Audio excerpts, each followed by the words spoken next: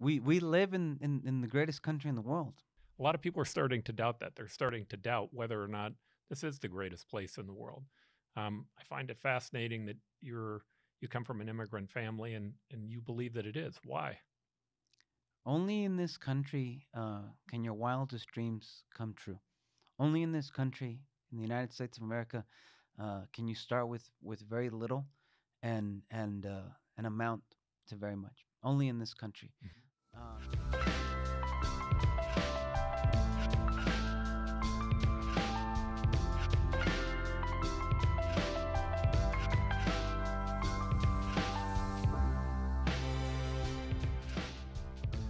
Welcome. I'm Paul Johnson. I'm with the Optimistic American. I'm here with a representative from our legislature, Marcelino uh. He is uh, an individual who has just gone into the legislature uh, in the recent past. We're going to have some fun today talking to him and hopefully talking about hope. Welcome. Hey, Paul, how are you? Thanks so much for having me. Oh, thanks for being here. We appreciate your being here. All right legislature. I, I want to start right with that. Uh, you have a great past. I think there are a lot of things that people are going to want to know about you or they're going to find fascinating about you. But I want to start with the legislature. Sure. Um, you know, there are a lot of people who think politics doesn't work anymore, that it's a brutal place to be. Why would you do that? So is it the pay? How much do you make uh, as a legislator? so we're starting off with jokes tonight, right? There we go. What's the pay? What do you get paid so to be a legislator? legislators make uh, $24,000 a year, and then they do get a per diem the first 100 days of session. We're already at 80, so I've got about 20 more days of per diem, and then uh, that's going to drastically decrease. Okay, so it, so it's not the pay. Definitely, it's not the pay. No. It's not the pay. All right. So why? Why would you want to do that? You know what? Um, I was in the eighth grade, and uh, I was assigned a book on John F. Kennedy, mm-hmm. and so I read this book on President Kennedy. His assassination is, uh, was on November 22nd. My birthday was is on November 19th. Where were you when you read this book? I was at C.O. Greenfield in South Phoenix. Okay. I was assigned a book, started reading it, and I started. Uh, I fell in love with President Kennedy at an early age. The proximity from his uh, death day to to my birthday struck me. Uh, I grew up Catholic, the first Catholic president, and then the more I delved into him, and the more he talked about doing something for others and setting our, our, our, sights on the future really inspired me. And so I began to look around uh, my school and myself, and and all of a sudden I said I could do something like that. And so I've always sort of had this this this spirit of, of service because of, of President Kennedy and, and other individuals. Mm-hmm. Yeah, the um, yeah certainly President Kennedy I think brought a lot of people into uh, the system. But you were pretty young, so the book you were reading was long after he passed. I think I was three years old when he passed, and I, I literally remember watching it on television. It was it was one of those traumas in yes. American society. So as a three year old, yeah. it's the, the what was happening on television. My mom crying, the whole thing. I remember. My mom was Irish Catholic at the time. Um, now, I've become a registered independent, but you're a registered Democrat, right? I'm a registered Democrat. Um, yes, Friday, November 22nd, 1963. And okay. sometimes when you watch the clips of uh, uh, Mr. Cronkite delivering the news, it, it, you can still get a little choked up. You so can still feel it. You can still feel it. So, no, yeah, a proud Democrat. Uh, I've grown up uh, as a Democrat most of my life, been very involved in terms of getting people registered to vote, speaking to my family about the importance of voting, and then listening to candidates uh, that present an optimistic view of, of mm-hmm. what's possible here. So I always tend to go for those candidates. All right. So tell me what you do in the average day as a legislator. So the average day as a legislator, I, I, I think a lot of people think that we do a lot of talking. What I've learned is that in order to be the best kind of legislator, what I have to do is a lot of listening. So on an everyday basis, I'll meet with a lot of individuals, some who happen to be lobbyists, and they're there telling me why a particular bill would favor their particular clients. My job is to ask a lot of questions, and my job is to connect dots. And then my, my job is to also think of, uh, of, of my constituents. Uh, I serve in the new LD 11, which has 230,000. 55% of those are, are Latino. And so I. Tell I me where that's located. Uh, so that includes uh, South Phoenix, uh, Laveen, uh, Guadalupe, which is part of our, our Yaqui tribe, and then uh, the middle of, of, downtown Phoenix up to Van Buren. Okay. And it goes as far west as 75th. Uh, with the new legislative district, I've lost the, the South Mountain uh, tribes that were previously apart. So the current district is South Phoenix, Laveen, Guadalupe. Oh, I forgot to say this two blocks in Tempe. So I still have to say Tempe because I do have a couple of blocks in there and then downtown. Okay. And so um, you're a Democratic legislator. Tell me, do you have any ability to have any say in what goes on as a Democratic legislator? We do. We do. How does that happen? Explain that to me. Well, you know, one of the most important things that, that rarely gets sort of uh, talked about in, in politics is relationships. And so I am a part of the minority party, which means that I have to establish relationships with the majority. I have to uh, tell them what I think. And, and one of the things that I've learned early on, I've only been here since uh, December 15th, but one of the things that I've learned early on is that the less flames you throw, the better. In other words, if I disagree with you, Paul, it's okay for me to disagree with you. It's a different thing for me to tell the entire world time and again why I think Paul is bad and why I disagree with Paul. I can just tell you, and uh, and because we're both human, you'll take that into consideration, and then down the line, uh, you know, you'll vote accordingly. But at the very least, uh, you'll at least know how the other party feels about Do you it. spend time talking to the other party? All the time Do you? all the time. I, I've made it a point to greet every single member of the legislature. Uh, obviously, I engage a lot with with the Democrats, but I've made it a point to go and and thus far, I've greeted every single member of the party, and I've been Mhm. able to establish some good relationships with with members of of the opposite party because ultimately, and I've said this a, a few times. I disagree with them on policy. I disagree how Arizona should move forward. But ultimately, I think they're all good people, and Mhm. I think they're trying to do their best. What wing of the Democratic Party would you say you're from? The progressive side, the liberal side, or do you do you attach a side to it? I, I tend to not attach a, a side to it. I, I, I believe that government can be a force of good. I Mhm. believe that government can create, uh, can create programs that can enhance the quality of life for individuals. Once we start to get into other sort of sections, I think people sort of begin to pigeonhole you, and then they won't listen to you because you you've self-identified as as as one bracket or the other. So uh, I can be very progressive on on certain measures. I can be very moderate on certain measures. Are you ever conservative? I can I can be conservative. What can you be conservative on? Um, I can be conservative um, uh, in how much money we spend on, on certain projects. Uh, I, I'm I'm conservative in, in terms of some tax cuts uh, for uh, certain uh, businesses. I can tell you that. So no, I can be conservative as well. Do you think business plays an important role in society? I think business uh, uh, goes right in hand with education, uh, with uh, with democracy in terms of how a society functions. Uh, I think without business, uh, we wouldn't have uh, our quality of life. We wouldn't have individuals being able to have a, a, a roof over their heads and providing food on the table. I think business is very important. I think we should be a business friendly uh, state. So you can see a connection between uh, the economy, business, and social programs. Absolutely, all Mhm. of them, all of them. Uh, prior to the legislature, I worked uh, uh, at St. Vincent de Paul and Arizona State University. But at St. Vincent de Paul, I was the director of educational outreach, uh, youth outreach, and so I was also responsible for raising dollars for a scholarship. And I would engage with a lot of individuals, and I would ask them to write me nice checks, not for myself, but but for the students.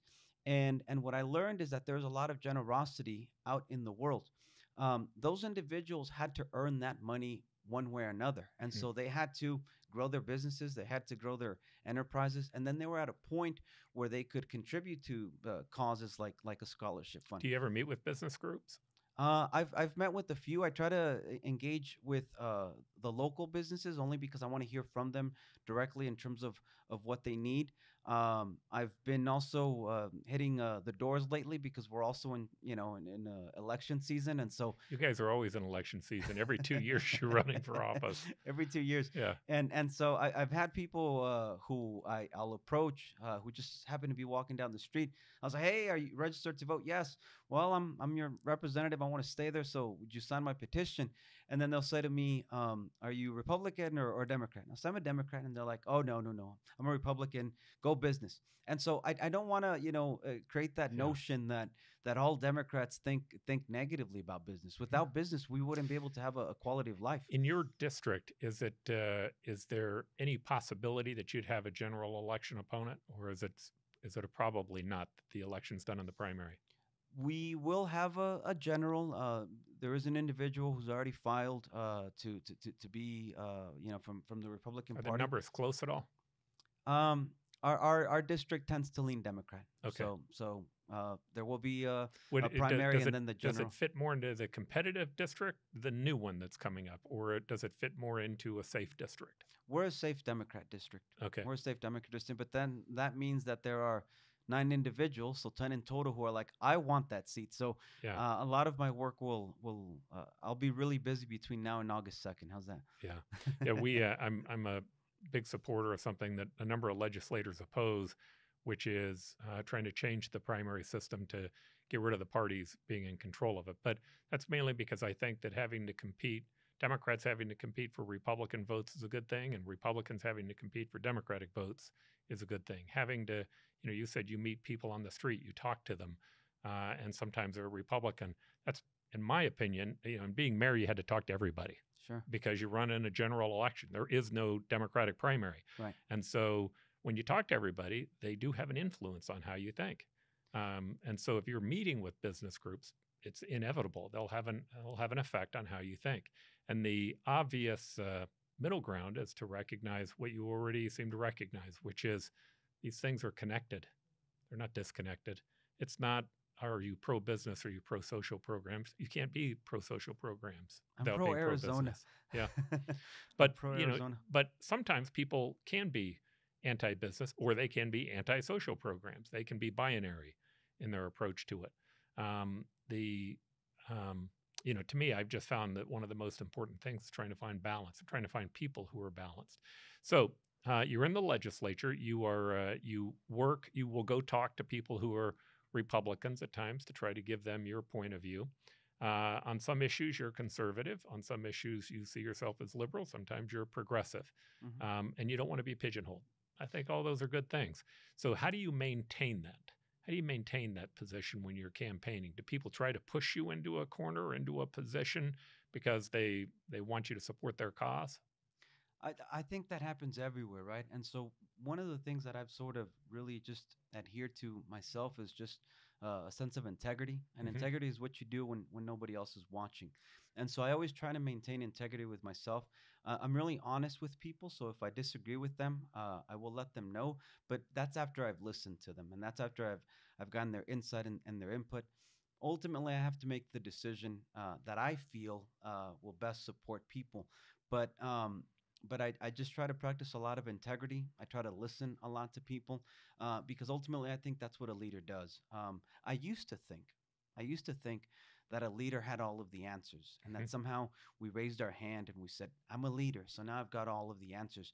The older I've gotten, the more I've realized, no, leadership is about listening. Mhm. leadership is about taking in different perspectives and then finding a way to create some consensus. Ultimately, nobody wants to give up everything that they have Mhm. and that can be social programs that can be finances that can be beliefs Yeah. nobody wants to give everything that they have but if we can find a way to sort of demonstrate how we're all united uh, to sort of live a better life i think we can make some progress Yeah, there democracy can't survive under the thought that you know every two people have to get their way. Right. It only survives if you find common ground. absolutely. And uh, and finding that common ground sometimes is difficult because at least as an individual you also have to you have to worry about your own values and when are you giving in too much and yet when are you not listening and giving in enough? And it's that's a tricky balance. I found being in office was more of a discovery process about myself yes. than it was about anything else Isn't that fascinating? Mhm. That you know we arrive at, uh, uh, with these titles and in these positions of, of of presumed power, right? And then all of a sudden you realize there's so much more I have to learn. There are so Mhm. many more people I have to engage with, and and I think that's been part of the process for me in these last three months. all right so if you could wave a wand hmm um, uh, legislatively Yes. and you could only get one thing done, just one thing done, where's the area that you'd make the difference? I want to get rid of the aggregate expenditure limit. Okay, Uh, what is that? The aggregate expenditure limit is something that was passed in 1980, Mhm. so 42 years ago. Uh, there was a, a, a cap set on how much money could be spent on education per year. And ultimately, the last 42 years don't take into account inflation and the cost of educating our students. I think that is preventing us from um, enhancing our educational system and Mhm. really supporting our teachers, our staff, bringing in counselors so that there can be a wraparound service in terms of how our students receive uh, their instruction. So, if I could do anything right now with a wand, Mhm. I would get rid of the aggregate expenditure limit so that we would not have a limit on how much money we can spend uh, on our educational system. If you could change education, how would you change it other than giving it more money? Well, other than than giving them more money, um, one of the things that my first ever bill that I introduced um, did appropriate some money to the schools so that we could re- uh, include uh, counselors and social workers into our schools. I think our students right now are struggling with uh, mental health. I think they don't know how to sort of approach their dreams and, and their aspirations. And so I think having uh, some guidance and some counselors there to work with our students would then enhance the, their ability to learn. Um, I also think we have to do some some programs around our schools becoming sort of their home schools so that their parents feel supported and engaged with the schools. So in addition to more financing and more money because more money is not the the simple answer. I think we have to get creative and I think we have to be intentional in the sorts of programs and resources that we bring to our schools so that our students feel like they're prepared to learn. hmm So I'm I'm going to suppose something. You can Sure. correct me if I'm wrong. I suppose you don't see yourself as a Hispanic legislator. You see yourself as a legislator for everyone in your district. Is that fair? That's fair. I, uh, a, long time ago, I learned something from a good mentor of mine. His name is Richard Trujillo. hmm And Richard, for a number of times, was the only equity actor uh, in Arizona. And he used to say, I'm an actor who happens to be Latino. And so I take that same approach. Mhm. I'm a legislator who happens to be Latino. hmm And how do you get input from other groups, from uh, from Asian, uh, African American, Anglo voters? How do you get input from them, or, or do you just do it in the normal course of business? Do you go out and meet with them? How do you try to solicit input so that you ensure that you're being balanced? Well, one of the things that I've done is um, prior to the legislature, I mentioned being uh, with uh, St. Vincent de Paul and Arizona State University. During that trajectory, I was able to meet with a lot of individuals and really become invested in the community. And so my resources and my outreach were not geared towards one group. In the course of that time, I was able to forge a lot of relationships with multiple um, backgrounds. So I go back to those groups. I go back to those groups. A lot of times we'll have individuals uh, visit the Capitol. So I Mhm. go out and, and extend a hand and exchange contact information so that I can go and, and listen to those groups. But as a whole, I think um, I've been very active in establishing relationships uh, with multiple groups. Okay, at the legislature, what was your toughest day? One of the toughest days was, was probably last week. Uh, I got invited to go to Washington, D.C. to meet with other uh, uh, uh, Hispanic Latino legislators from around the country. And so uh, I was I was scheduled to leave that day, and we had four rather controversial bills. And somehow uh, word got out that uh, a number of us were going on this trip. And so what ended up happening is um, is that then became the story and whether we were there doing our job or not. I'll say that I did not leave, right? So I was willing to miss my flight or whatnot until every vote had been cast and after every argument had been had. But uh, but just sort of navigating that sort of pressure from the outside, whether I was doing my Who, job who or not. raised the pressure from the outside? Was it the other party? Was it your opponents? Was it the media? What, where'd it come from? Uh, it, it, it came from it, it came from from from interest groups who just wanted to make sure that that their interests were, were being heard and that those of us there to to, to advocate uh, they're doing our job. So Mhm. again, one of the things that that I've learned also, Paul, is that you can't take yourself too seriously. Mhm. You've got to take the work seriously and you've got to do your research and you've got to study it and you've got to ask questions. But ultimately, you can't take yourself too seriously because that then just leads you to, to confusion and, and whatnot. So I listen. I listen and, and, and, and, and I'll make notes and, and I'll do my best. But but ultimately, I, I, I- go back to what I said earlier in terms of that integrity. Mhm. I'm going to do my best every single day, whether there's pressure from the outside, pressure from the inside. I'm going to do my best. Did So you I get just, any negative press from that uh, event?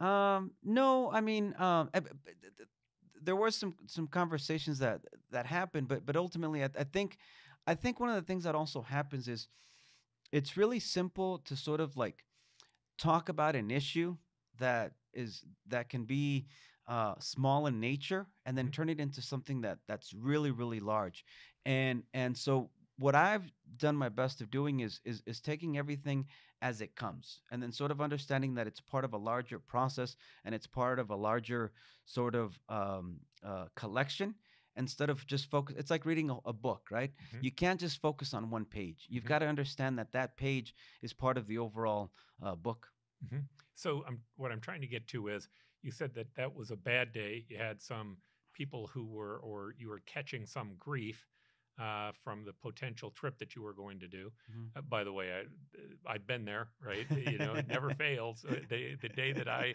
left to take my family to San Diego, of all places, it was 122 degrees in Phoenix. You and I got the record. Yeah, EJ Montini wrote this story about how the uh, everybody else's tires were melting into the asphalt as I was going to a beach, and and I can tell you, I don't regret going to the beach for one minute. But in any event, the uh, uh, you, you still catch grief, right? People get mad at you and they get upset with you. So, have you gotten any bad ink so far? Any bad press? Uh, so far the ink that I've received uh has been positive. I Uh-huh. think that the more you sort of continue to do this, um, that bad ink is is inevitable. Uh-huh. Only because again, it, it it it- it's part of the process, right? And so, uh, it, it it's one of my favorite stories is the story of Icarus, right? And so, uh, Icarus was told, "You want to fly? Okay." You, you'll get some wings made out of wax, Uh-huh. and that's so that you don't fly too high. I love that story because the the the symbolism there is you can fly, which is Yeah. what you want to do. No, Go ahead but- and fly. But watch out for hubris. Right. You, exactly. You Mhm. can't get too high. And so it's wonderful that I've had some some good press, some some positive press. Um, when the other press comes at me, that's okay. That's Mhm. okay. It's it's it, it- it's all a balance. And then of course, um, I did have a vote. I did have a vote that uh, um, that had to do uh, with with solar, and and and I voted a certain way, and then um, I saw my first sort of uh, attack piece on on social media, and and and the headline was you know, Rep Quiñonez is anti-solar, so I'm I'm for solar. So I I sent the the the picture to to uh, to my siblings. I've got a little sibling thread on, on text message.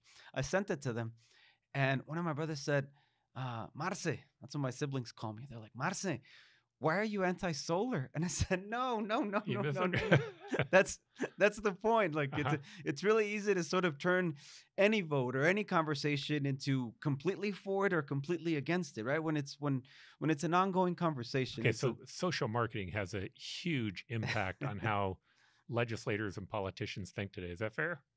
I think that's fair. And and do you think it's overblown? I mean, I've always wondered. Like, I, I've had a number of friends who, uh, it, it, when I was in office, it getting Facebook wasn't really something you had to worry about because Right. it didn't exist. Um, but I tell my friends all the time, turn it off. It's it's going to the same 500 people. Do you disagree with that? it's, Agree it's a, with that? It's, a vacuum, right? It's, Mhm. it's a vacuum.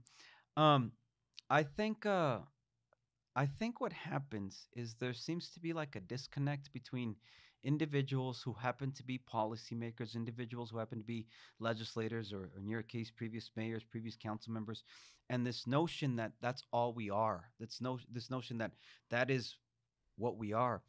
We take our jobs very, very seriously, and we are entrusted with a lot of responsibility, and we are very privileged to be in these positions. But ultimately, I have to be a dad uh, to my daughter. Um, I have to be uh, an educator to to my students. I have to I have to be a sibling to to, to my brothers and sisters, and so. Uh, but ultimately, I, I have to be Marcelino to myself, and I have to be comfortable with the things that I do or don't do. And so sometimes th- that disconnect or, or or that ability to sort of see things uh, in a more complicated manner doesn't doesn't happen. And and I think that sort of recycling of of uh, of talking points or recycling of, of attacks or, or praises that that can also just go in a loop. So um, you came here as a uh, you came here as an immigrant to the United ca- States. I came here as an immigrant. Tell me uh, that story. So what happened is uh, my, my, my father uh, uh, would come to the U.S. back and forth. So he would work here, send some money over to my mom, and then um, I I'm the oldest of, of five, but uh, there was three of us at the time. My mother just got tired of waiting for my dad to go back and forth, and my mother is this incredible uh, leader. My mother is this incredible person, and so uh, she she worked with my dad and was able to bring us into this country, and and and this is sort of where where the new phase of of of our journey uh, How would, old were you? would begin. I was five. Okay, do you remember it?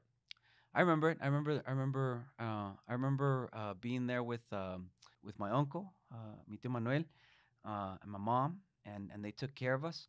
Uh, in October of 2020, I had an opportunity to go back to to where I was born, uh, uh, and I saw my uncle. And one of the things that I always try to do, Paul, is I'm a storyteller, right? By by by training, I'm a I'm an artist. I'm I'm a playwright, and so um, I always try to sort of let people know just what their actions amount to. And so I was able to tell my uncle that that I I'm so grateful for him because uh, because he took care of us with with my mom, and and as a result of that, uh, we've got five college degrees to to our name. We've got a, a certificate. We've got a uh, my little sister's a is a junior at ASU, and so I want everybody to sort of see what their contributions to that journey were. hmm Um, but I remember that, and then I remember How did you come across? Did you just drive no, across? we we just we we we had some help. We had some help, and uh, and and my uncle and my mom sort of did the did the leadership of it. Um, I remember starting kindergarten Mhm. in San Jose, and of course I didn't know a word of English, and so um, I was uh, I was I was going to kinder. I was going to kinder, and the first parent teacher conference came up, and then the teachers, Mrs. Oyama, she told my mom that she could tell that I was a good student, but that every single time they would speak English, I would turn around and start talking to to my neighbors, and then anytime they spoke Spanish, I would be really attentive. My mom told me that it was my responsibility to pay attention at all times. And so at that time, I told my mom, I promise that every single day when I come from school, I'm going to know a new word in English. And so that's that's how I learned English and and and uh, and whatnot. And then, um, of course, uh, I, I, I think if you're a student, you just sort of fall in love with learning and, and you want hmm to learn and absorb as much as as possible. So um, I remember just to connect that when I was a junior in high school, I was doing my own reading, and uh, and I picked up uh, Profiles in Courage by President Kennedy. At the time, he was the senator when he wrote it, and I remember reading the word trepidation. And I didn't know what it was. And so I remembered being five years old and told my mom that I would learn a new word every single day. So I looked up the definition of, of trepidation and, and whatnot. So that's always been an, an ongoing sort of part of my my background which is trying to get better every single day a little bit better so at that time it was by learning a new word and now it's just learning a new lesson or or a new endeavor hmm You know, a uh, uh, a long time ago, I had a dinner with. Uh, do you remember Pierre Salinger? yes So Pierre was uh, hmm John F. Kennedy's speechwriter, and hmm at this dinner we had Tip O'Neill and uh, Ronald Reagan, and former speaker and the president yeah, hmm and uh, this was after President Reagan had left office. I had been mayor for a little while, but when they, the other two left, Pierre Salinger said something to me that was really stunning. He said, uh, "He said, yeah, Ronald Reagan is just like John Kennedy." I said, "Pardon me." I Mm. I said, "You know, that was a wonderful dinner. I enjoyed it." I said, "But how was he like John F. Kennedy?" And he said, uh, "Oh, he said, look, they both have this exact same outlook on life. They're positive. They believe in the future. They they have a sense of who they are. They're optimistic about where we're going. They just have a different approach in how they're getting it. And I think it's taken me until the last uh, couple of years to recognize that there is a uh, that the difference is is that that positive outlook can also be matched with a very negative one. Um, uh, being able to stay on that side of optimism, regardless of what your ideology is, becomes important. So you are an immigrant. You Mhm. come to the U.S. You go to school here. You learn English. When do you become a U.S. citizen? i became a u.s citizen after um in 2007 in Okay. 2007 um i became a resident uh, a long time prior to that but i never went through the through the paperwork of becoming a uh, a, citizen What was that like? Explain to me the process of what you went through to become a citizen. So again, I'd, I'd, I'd been a resident since I was a child, and then um, uh, my mother was only a resident. My father had become a, a citizen a long time prior to that, and so um, by the time my mother became a citizen, uh, the law stipulates that any children or any child of theirs who is under 18, they automatically gain uh, U.S. citizenship. By the time my mom became uh, a citizen, I was already older than 18 Okay. and so uh, at that time i i had i was already in college and whatnot and and becoming a citizen was really important because I've always wanted to vote. I wanted to vote in an election, but I couldn't. And then eventually, what ended up happening is uh, the the price of the application was going to increase drastically, and so I said, Marcelino, if you're not going to do it now, then you know you're just going to keep putting it off. Like this is a good pressure point, and so um, I filled out the the application, and then uh, and then you wait some time and you wait some time and then of course you've got a hundred questions to, to answer and, and you've got your civics information. I grew up in this country. I grew up you know idolizing president kennedy and then you know fdr and the new deal. I mean Mhm. and president lincoln. This, this is this is the only country i've ever known. I'm, I'm a proud mexican because that that's my home country and, and whatnot but but the us is really all i've known. So i remember when i went to actually do my test my exam uh, the person that was interviewing me could could sort of tell that, right? I, I forget the questions that they asked me, but but they could sort of tell that okay, this person is is a citizen in many ways, other than than you know the the document that that proves that. And so um, for me, it was not difficult, but that's only because I had gone through my schooling here, Mhm. uh, became a citizen, and then um, I cast my first vote ever in the 2008 presidential election. So the first person I ever voted for uh, was President Obama. So, um, dreamers. Let's talk about them Yeah, for a moment. So, with uh, with the dreamer population, why is it so difficult for them to become citizens today? Why couldn't they just go through the same process you went through and become a citizen? Uh, because uh, it uh, th- the difference there is uh, their last point of entry, their last point of entry into this country, and if their last point of entry into this country happened to have been without documents, then they are forever categorized in this group where they can't advance their immigration status unless there's some federal legislation that explain happens. to me who a dreamer is, or to Uh, my Sure, audience sure, anyway. Sure. So a dreamer is an individual who was brought to this country um, through no fault uh, or no responsibility of their own. They were brought into this country as an undocumented immigrant. They've lived their entire life in the United States, but because their last entry into the United States was without a visa or without a residency card or a naturalized citizenship uh, uh, document, they are then in, in this bucket where where they can't sort of advance their immigration status. So they can't become uh, residents and they can't become citizens. So they're living uh, their life fully U.S. citizens, with the exception of of the document that proves that. So this is the only country that they know. And uh, because of President Obama's executive action in 2012, they they were able to receive uh, deferred action, which does which does give some of our dreamers the ability to live and work and study in the United States without fear of deportation.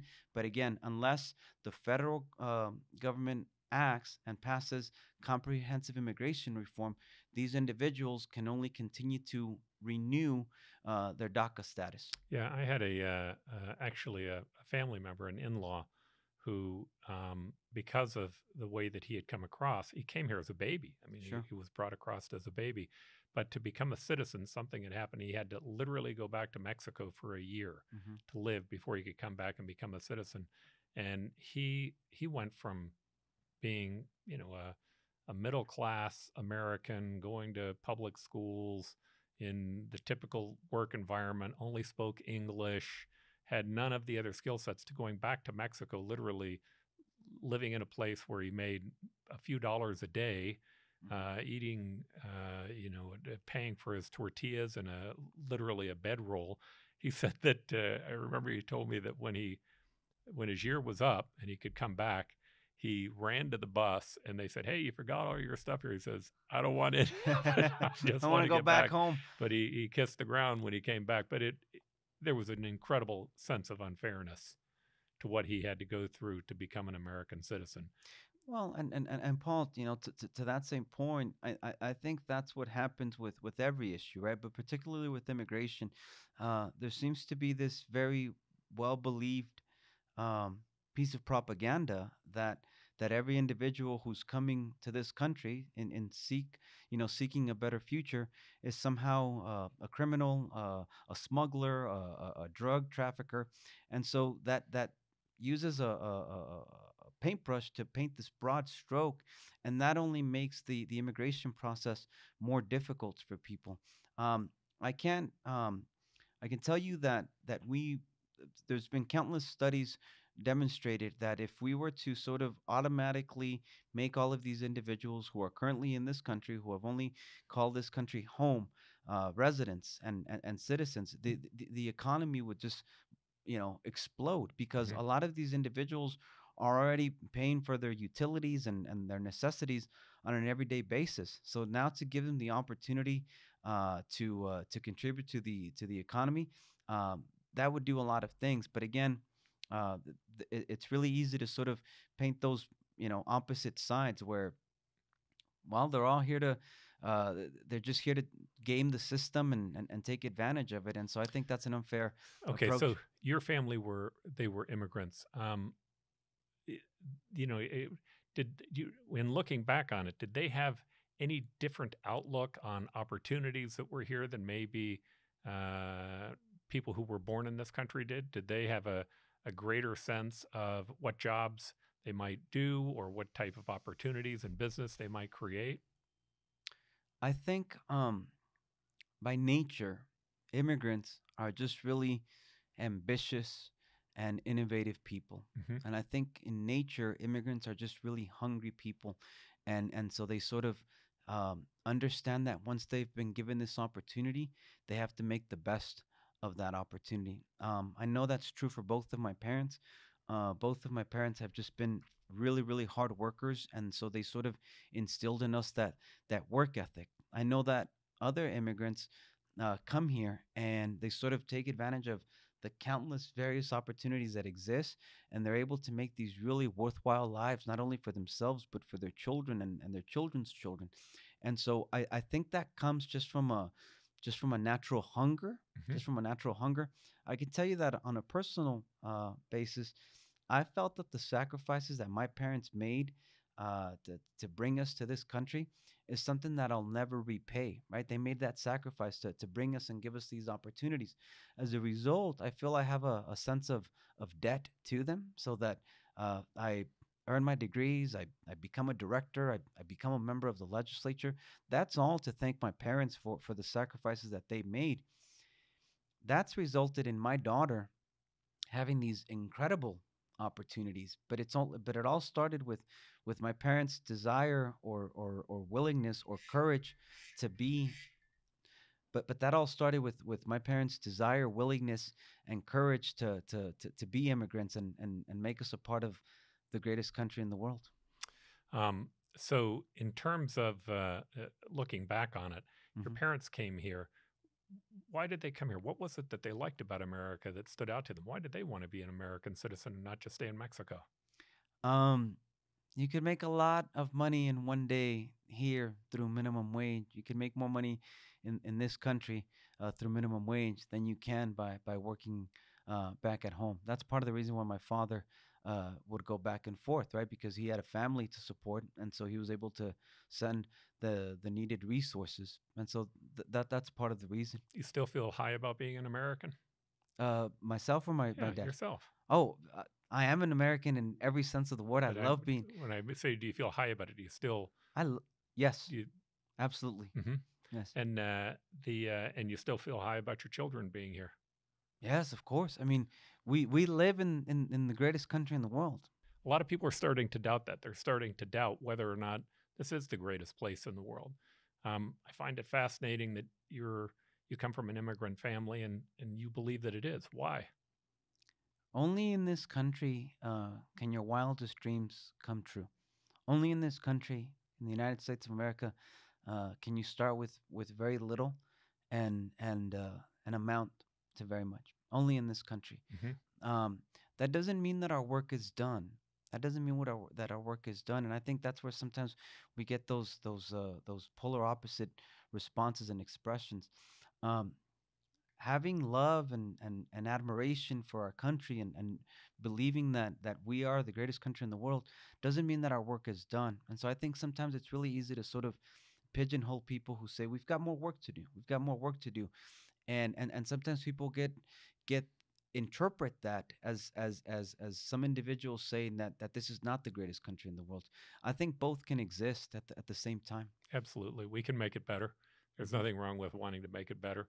Um, there's also, you know, I, I I do worry sometimes about the media and the groups who are paid to tell us what's wrong with society because they start to paint a very bleak picture. The challenge is to try to let people know just exactly what you just said. Hey, there are this is a great place with a lot of good things. That doesn't mean that we don't need to keep working on ourselves. If we quit working on ourselves, it may not be a great place.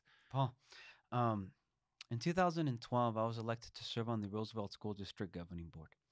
And early on, um, I got invited to a dinner uh, with some teachers so that I could talk to them about my plans for for the district and what I was going to do.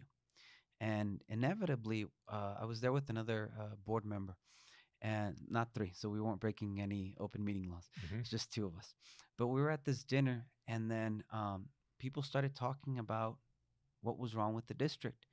And there were about eight educators there, and then another one, and then another one, and then another one. And pretty much, uh, you know, soon after I'm, I'm having my dinner and I'm listening to just how horrible the district is, right? And one of the things that I heard is that it lacked technology. I believe that representation should be intentional and should be present.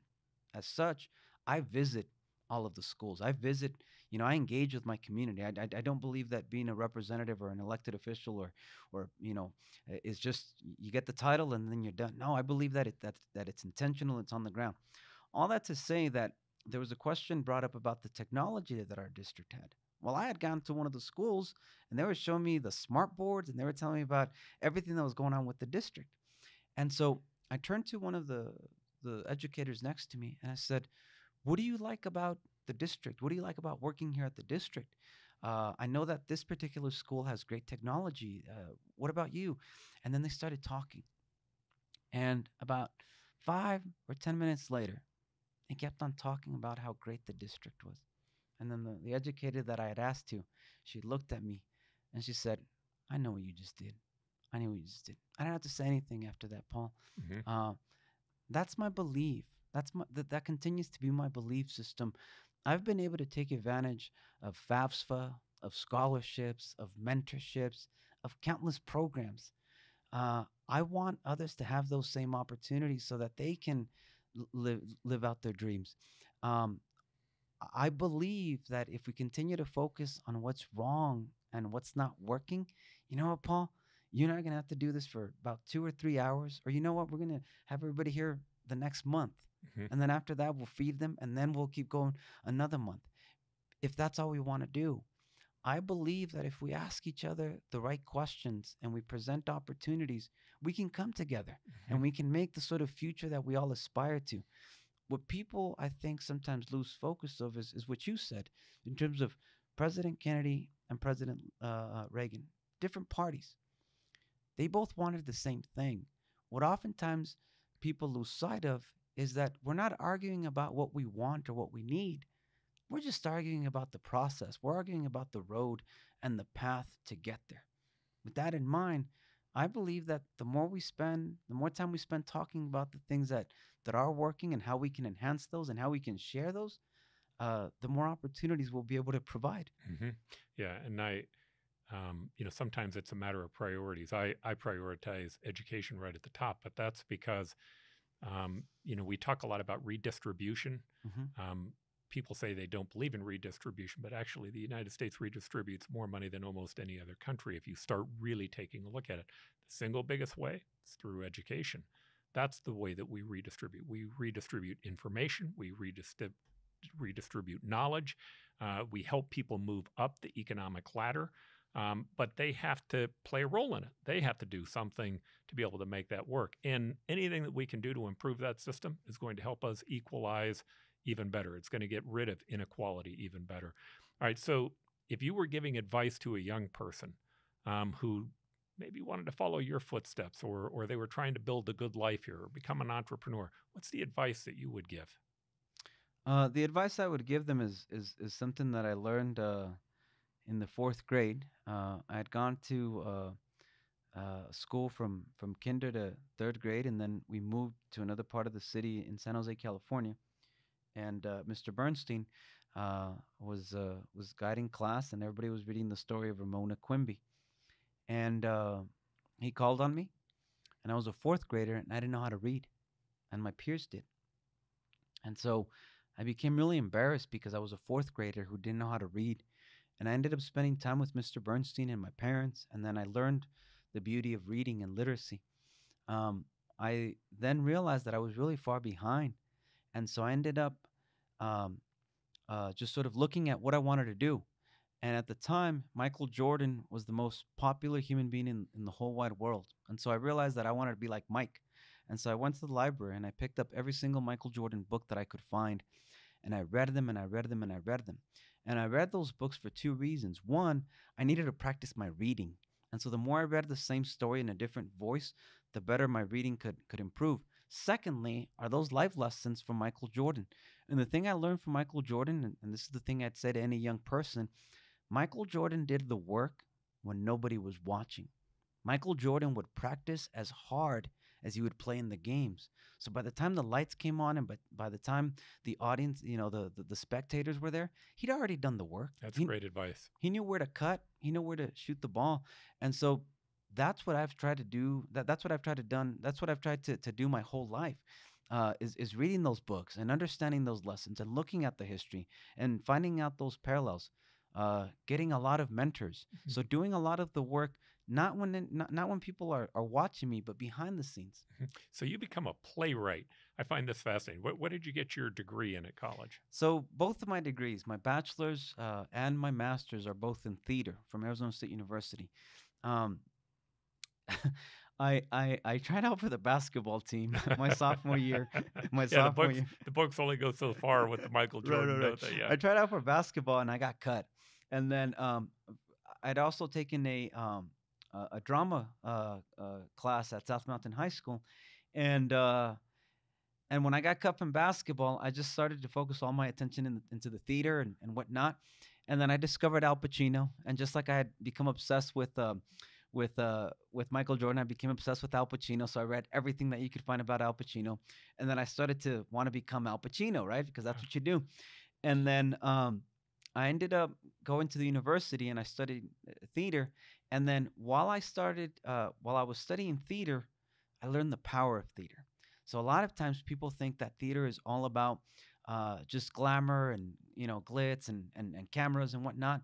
But you realize that the power of theater is to influence thought, and you realize that the power of theater is to create dialogue. And so that really led me into this path of understanding what I could use theater for to sort of engage people in, in conversation. Additionally, of course, it gives you all of the presentational skills that you'll need, especially if you're seeking public office. Yeah, story. Mm-hmm. Uh, you know, I, I uh, I mentor a lot of entrepreneurs, and that's one of the things that I tell them all the time. You have to master your story, right? Uh, because you're selling people all the time. You're selling customers. You're selling people are going to invest in your company. You're selling employees as to why they should work for you, and mastering that story matters. Now, it starts with being passionate about what it is that you're doing, but you still, even if you're passionate, you've got, you have to figure out how to put that into words and emotions and to make other people feel as passionate about it as you do. All right, so you you go to college, you make uh-huh. this your focus, yes. and then you become a playwright. Tell me what that means. How do you so you graduate from college, you just write your first play or do you go work inside a theater? What do you do? So in 2008, uh, 2006, uh, Mr. Roberto Reveles, who's one of my mentors, um, he organized one of the largest uh, marches here in Phoenix uh, for comprehensive immigration reform. And so, I was a, a June, I was a, I was in college, and I realized my my privilege and, and my fortune of being a college student. So I realized that I felt like I should volunteer at the event. So rather than do the march, I felt like I should volunteer.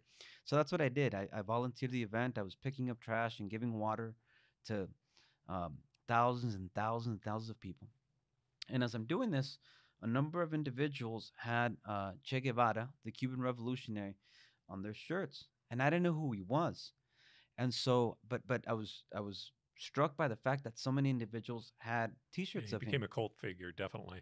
Exactly, and so um, I told myself that I wasn't going to wear the T-shirt unless I knew who he was. So I already did it with Michael Jordan. I already did it with Al Pacino. I already did it with President Kennedy. So I did it with Che Guevara. I just picked up every single book that I could find on that on that man, and I began to see the sort of um, confusion that existed, right? Because I, could pick out a book and he was going to be a hero, or I could pick out a book and he was going to be a villain, and there was no Mhm. middle ground. hmm There was no middle ground there. So what I was really interested in doing is telling a story of a human being. So really deconstructing this myth, this icon, and presenting a human being so that the audience could interpret his life and then see themselves uh, as an educator, as a- as a husband, as a wife, as revolutionary, and whatnot. And so Wait that's what minute. I did. I, have got to interrupt. I want to come back to this point. You jump right from college to doing El Che. No, I was in college. I was in college. I was in Alright. college, and so um, my my as a So you write this while you're in college. I write this as I'm I in see. college. It's my final. I, I had to I had to do a, a project to graduate from from Arizona State University with my bachelor's, Uh huh. and so I um I had read all those books on Che.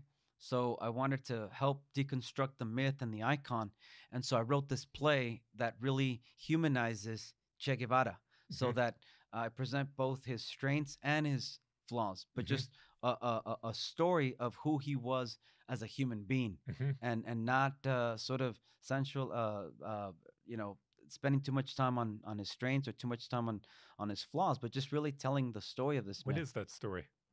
the easiest way to describe it is i think it's a story of a human being who became uh, consumed with their passions and as such lost sight of what was around him Okay, help me on that. Help me understand that. I know a lot about Che Guevara from history, and I've I've probably read more of the negative ones than I did the positive ones, but I read a couple on both sides. sure Um, I, I like that description. He became consumed with his passions, so that he forgot those things that were around him. Explain that to me. I want I want more on that. So um, he's born in um, he's born in Rosario, Argentina, in uh, 1928, and then um, as a teenager took a took a motorcycle trip. he just- Motorcycle Diaries. yeah. motorcycle diary. So he sort of gets to see all of South America, Mhm. um, learns uh, poetry of Neruda, and starts to you know recite that poetry wherever he goes, Mhm. and then eventually um, uh, studies to become a doctor, leaves at his final year, and then becomes involved in what was going on in Guatemala at the time, which was uh, a coup. Uh, and so um, he's in Guatemala, he gets arrested, and then he comes to, to Mexico.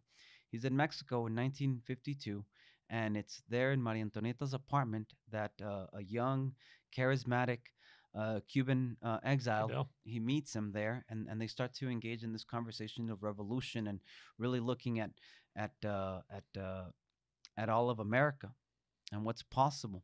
Fulgencio Batista had already abused all of the election laws and, and, and election cycles in, in, in, in Cuba. And so Fidel and, and Che and the other uh, Cubans talked and uh, they, they boarded La Granma and, and they went from, from Mexico City down to, to Cuba uh, during the, the Cuban Revolution. It was all about literacy. It was all about elections. It was all about uh, sort of demonstrating what was possible.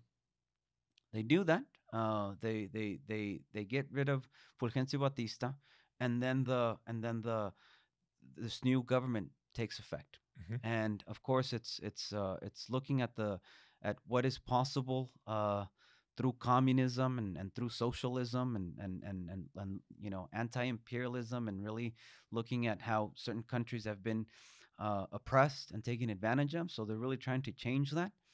Um, in the course of that, uh, he starts to really look at uh, at what's going on in the world, and then becomes really critical of the Soviet Union. And he goes and he starts to speak out against the Soviets and and and and whatnot. And then he realizes that his time in Cuba had come to an end because he felt that he had taken that revolution as far as he could, and he starts looking at the world. So he starts to look for his next revolution.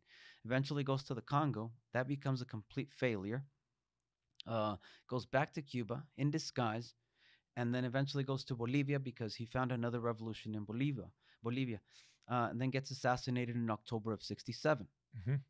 All that to say that when he decides that it's time for him to leave Cuba, he has five children and a wife, and he he lost sight of what it meant to take care of his children, of what it meant to be a, a husband to Aleida, uh, in pursuit of, of these new ambitions and passions to revolutionize the world. And so to me, that that's an indication or, or an example of how you can get carried away with your passions to the point where you sort of lose your most important revolution, which is your family. Mm-hmm.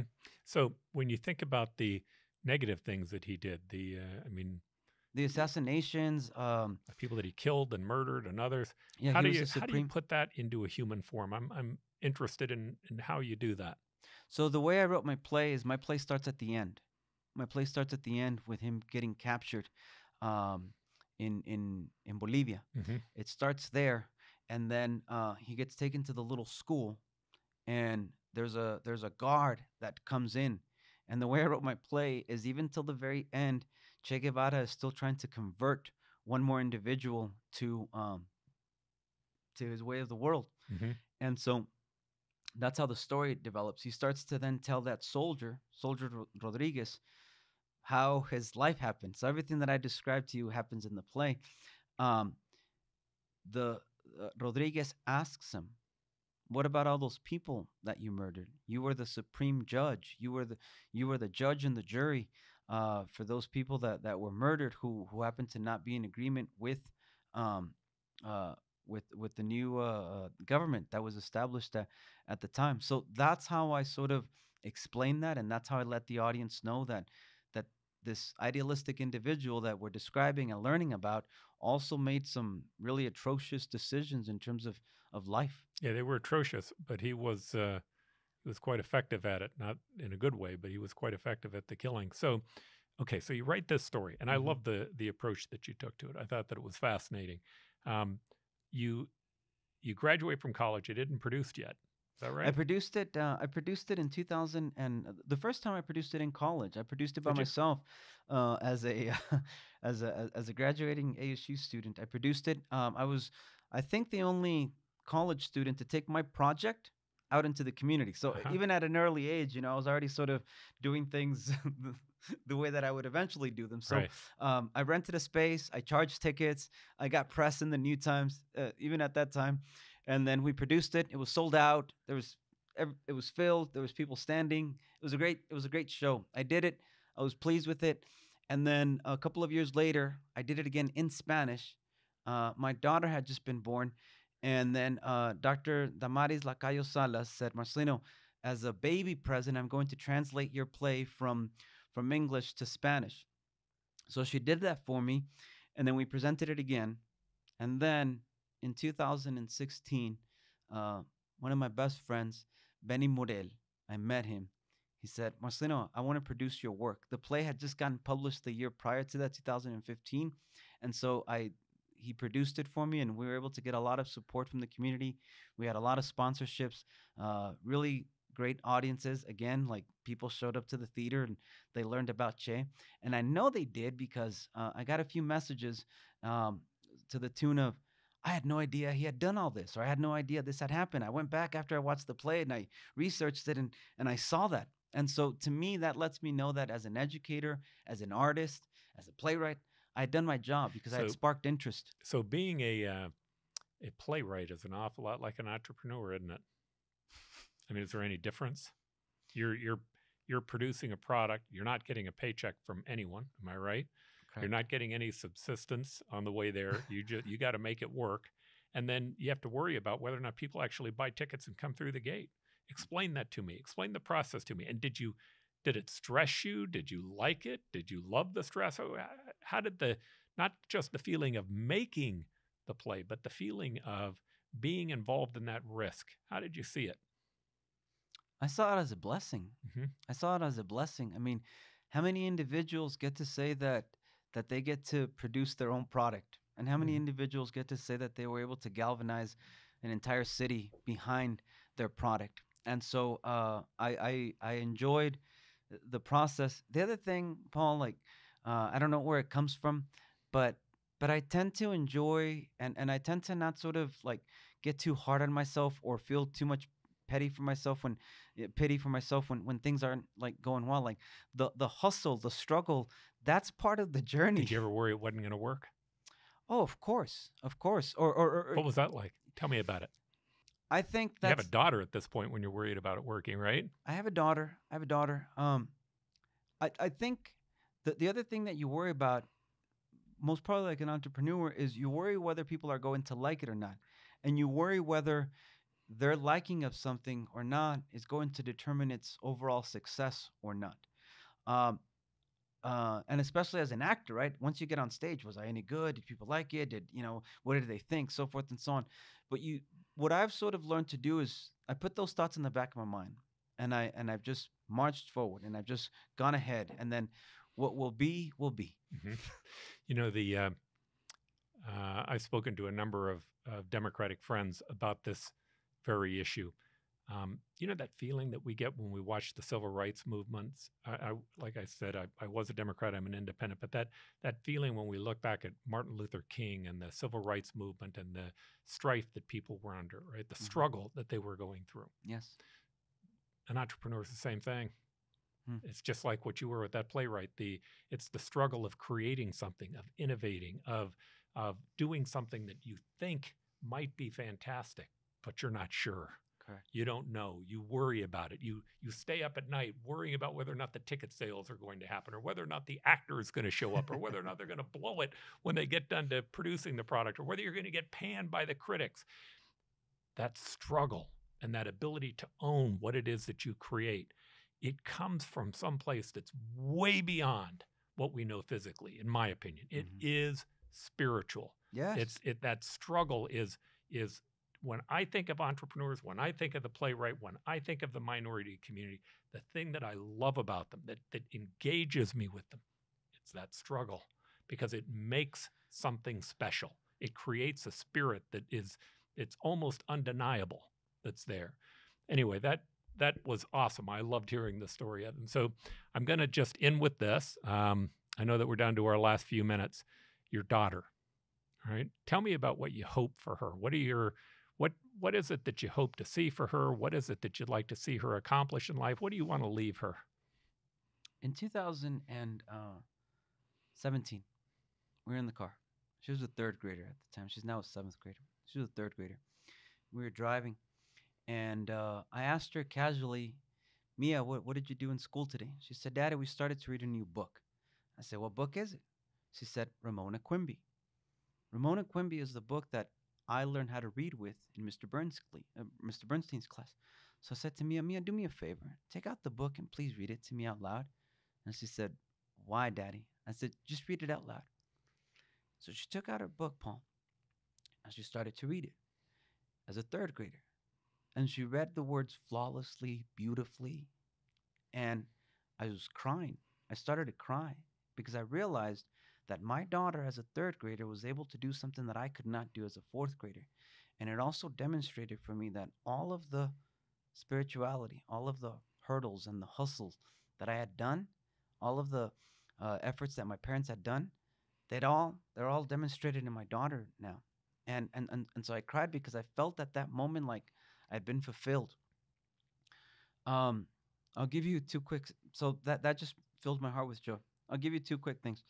Um, when I was a director at ASU, um, uh, I showed my daughter my card, and so she took it, and then she crossed out my name, and she wrote, she wrote her name, and then she crossed out director, and she wrote attorney.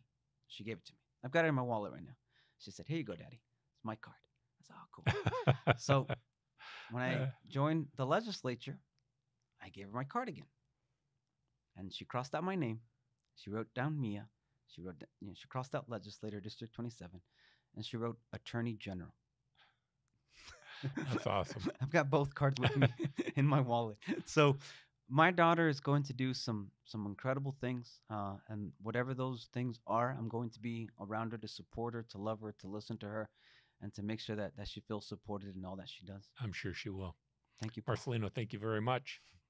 This is Paul Johnson with the Optimistic American. Thank you so much for being here. Uh, this was a wonderful show. I enjoyed it. Thank you. That was wonderful.